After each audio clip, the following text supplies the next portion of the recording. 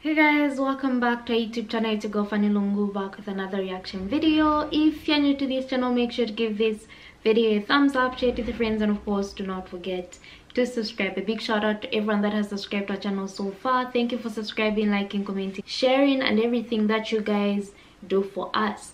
A big shout out to the person that suggested this. I hope all of you guys are doing alright and may you stay blessed. So today I'm going to be reacting to a Dr. Zakir Naik video but it's not the title is not in english hopefully there'll be subtitles so without wasting time let's get into the video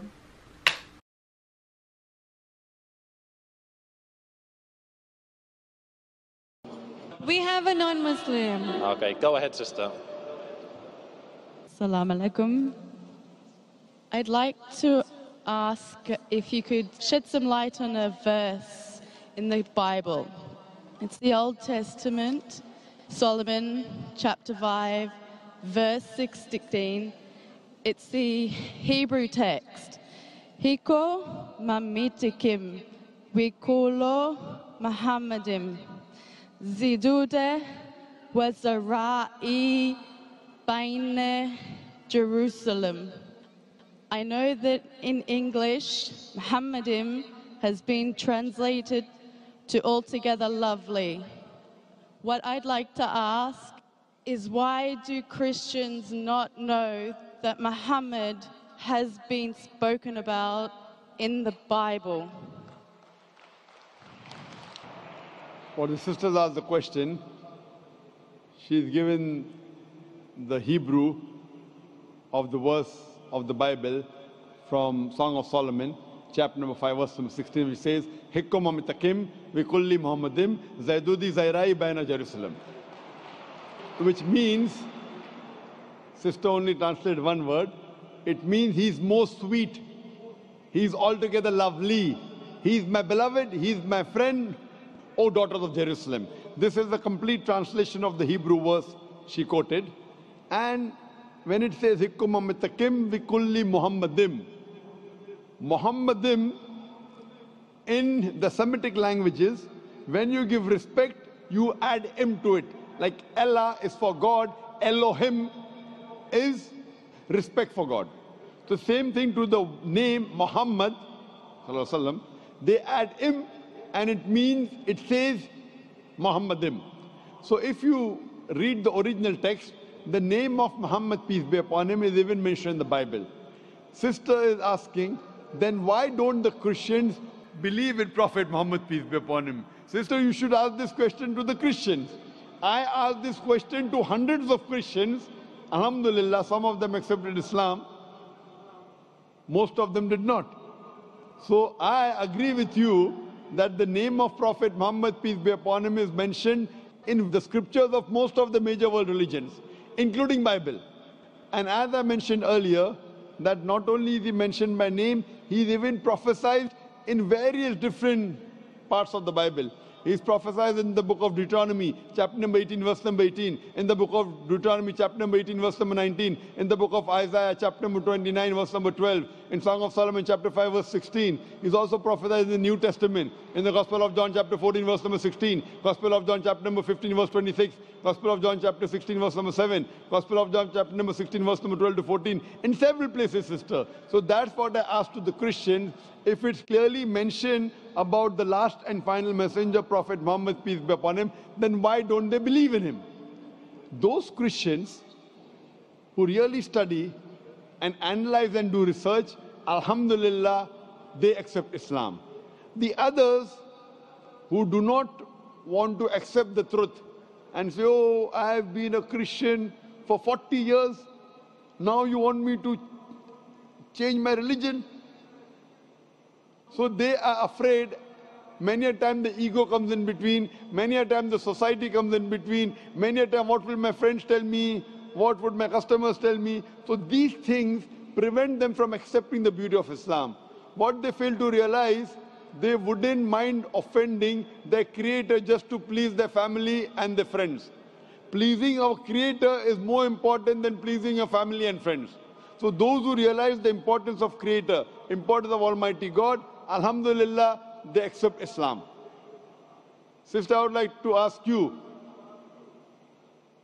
that are you a Christian or are you a Muslim? I've been studying Islam for about six months. MashaAllah. So do you believe now that there is one God? I do. Do you believe Jesus is God? Peace be upon him. No, I don't. Do you believe Prophet Muhammad, peace be upon him, the messenger of God? Yes.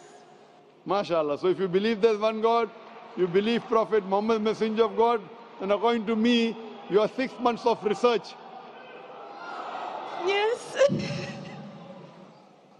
your six months of research have brought you to the truth, sister. Pardon, I didn't hear you. Those are tears of joy. Yes. Alhamdulillah. when a person realizes the truth,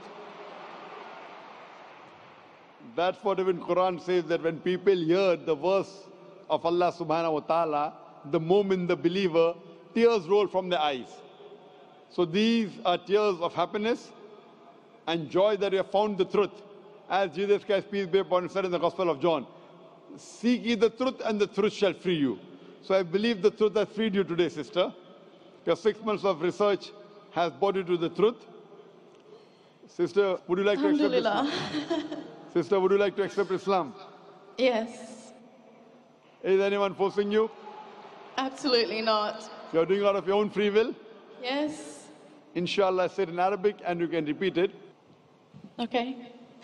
أشهد أشهد الله الله إله إله إلا الله إلا الله وأشهد أشهد أن أن محمدا محمدا عبده عبده ورسوله ورسوله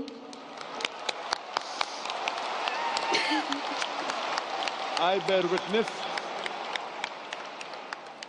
I bear witness that there is no God that there is no God but Allah, but Allah, and I bear witness and I bear witness that that Prophet Muhammad Prophet Muhammad is the messenger that is the messenger and servant of Allah.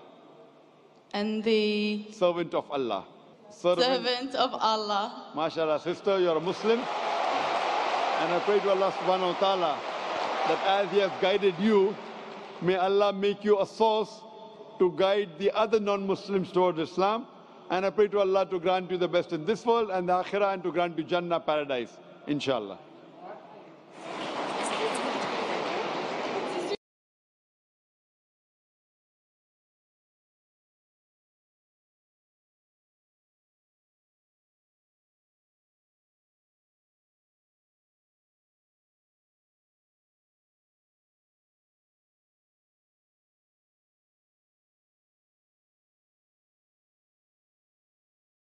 Interesting. I've actually reacted to this before. I'm very, very sure. But someone suggested it. I guess we're bringing it back to the top of the timeline. Um, I mean, she had a very, very valid question, which many of us ask but don't want to admit. If Muhammad is actually in the Bible, what harm is there? I always ask this in my videos. And I like the fact that Dr. Zakir Naik mentioned that for those Christians that have actually gone deeper to understand or even study uh, religions, get to discover the, the truth about Muhammad. He's in the Bible, he's this, he's a prophet of God, and life moves on. They even they may even accept Islam. And another thing is um, Muhammad is a person like any other person, and Muhammad is a prophet, prophet, prophet like the prophets before him. He came to spread the word of God, to make sure that people understood there was only one God and not to pray to others, just like the previous uh, prophets did. Why dispute the fact that he's actually a prophet of um, God? What what did he do different that people don't want to accept? Otherwise, if Muhammad is in the Bible, good. Just look into it. It doesn't mean you have to convert or revert. Just accept the fact. These these things you have to take steps in life. Just accept and understand and try to understand or familiarize yourself with the message that Muhammad came with and you will see for yourself if you want to follow anything that came from Muhammad or totally ignore it. Otherwise, I always love when people revert, convert, whichever word is correct in this situation, and I just love what the sisters do at the end of the at the end of the after saying the shahada. Otherwise love this video. Let me know what you guys actually think. Make sure to give this video a thumbs up share it with your friends and of course do not forget to subscribe and i'll see you in my next reaction video